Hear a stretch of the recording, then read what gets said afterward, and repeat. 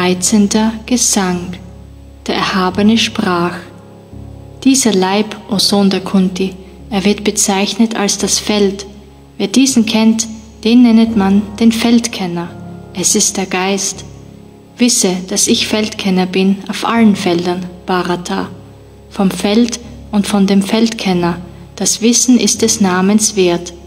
Doch was das Feld und wie es ist, wie sich verändernd und woher, auch des Feldkenners Art und Macht, vernimm in Kürze nun von mir.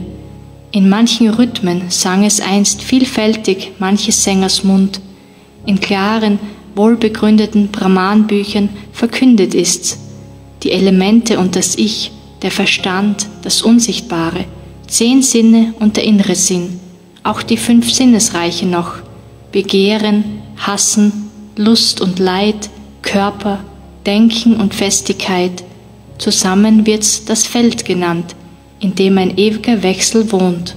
Bescheidenheit und Redlichkeit, das Nicht-Verletzen, die Geduld, Reinheit, Ehrfurcht vor dem Lehrer, Beständigkeit, Selbstzügelung, Entsagung von der Sinnenwelt, vor allem auch Selbstlosigkeit, ein Recht erwägen, wie Geburt, Tod, Alter, Krankheit, Schmerz bewirkt, kein Hang zur Welt, noch sich klammern an Söhne, Gattin, Haus und Hof, beständige Gleichmütigkeit bei jedem Schicksal, gut und bös, Verehrung, die sich nicht verirrt, durch Andacht, die nur mir geweiht, das Wohnen in der Einsamkeit, an Gesellschaft sich nicht erfreuen, stetes Erkennen höchsten Geists, die Einsicht in des Wissens Zweck, das ist es, was man Wissen nennt, was anders ist, nicht Wissen heißt's.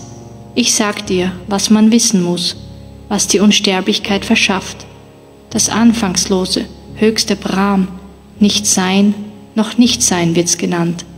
Hände und Füße, Augen, Köpf und Münder hat es überall, auch Ohren hat's in aller Welt, das allumfassend steht es da, strahlend durch aller Sinne Kraft, von allen Sinnen doch ganz frei, alltragend, qualitätenlos und doch der Qualitäten froh, in und außerhalb der Wesen, sich bewegend und unbewegt, unerfassbar ob der Feinheit, ganz fern und wiederum ganz nah, nicht zerteilet in den Wesen, und wie zerteilt doch steht es da, als der Wesenträger, kenn es, der sie verschlingt und wieder zeugt. Das Licht der Lichter wird's genannt, das über aller Finsternis, Wissen, wissbar, wissenswürdig, in jedes Herzen steckt es drin, so vom Feld und von dem Wissen und Wissenswürdigen sag ich dir, wer mich verehrt und dies erkennt, wird teilhaft meines Wesens sein. Natur und Geist, das wisse du, ohne Anfang sie beide sind, doch Veränderung und Qualität entspringen beid aus der Natur. Bei allem, was das Tun betrifft, dafür ist die Natur Prinzip. Beim Genießen von Lust und Leid wird der Geist das Prinzip genannt. Der Geist in die Natur gebannt, schmeckt, was sie schafft, die Qualität. Sein Hängen an der Qualität ist Ursach steter Neugeburt. Der Zeuge, der Gewährer auch, Träger, Genießer, großer Herr und höchstes Selbst auch wird genannt, in diesem Leib der höchste Geist. Wer so den Geist und die Natur zusammen den Qualitäten kennt, wo und wie er sich auch bewegt, erleidet keine Neugeburt. Durch Versenkung schauen manche in sich und durch sich selbst das Selbst. Andere schauen's durch Kraft des Denkens, durch Werkübung noch andere. Andere ehren es unwissend, da sie von anderen es gehört. Auch sie besiegen so den Tod, der heiligen Schrift ergeben ganz. So oft ein Wesen auch entsteht, sei es beweglich oder fest, es wird durch die Vereinigung des Felds und des Feldkundigen. Wer in den Lebewesen all denselben höchsten Herrn erblickt, der nicht vergeht, wenn sie vergehen. Wer das erkennt, hat Recht erkannt.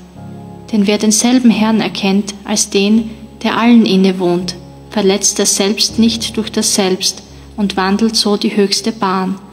Und wer die Taten allerwärts durch die Natur nur sieht geschehen, das Selbst dabei als nicht handelnd erkennet, der hat Recht erkannt. Wenn er die Sonderexistenz der Wesen all in einem schaut, und von diesem aus entwickelt, dann wandelt er zum Brahman hin. Dies ewige und höchste Selbst, ohne Anfang, ohne Qualität, wenn es auch in dem Körper wohnt, doch handelt's nicht, wird nicht befleckt. Der Äther ist allüberall, wird nicht befleckt, weil er zu fein, so wird er selbst auch nicht befleckt, auch wenn's in allen Körpern weilt. Wie die Sonne die ganze Welt allein mit ihrem Licht erhält, so erleuchtet das ganze Feld der Herr des Felds, O Bharata, die zwischen Feld und Feldkenner den Unterschied mit Wissensaug erkennen, die Erlösung auch von der Natur, die gehen zu Gott.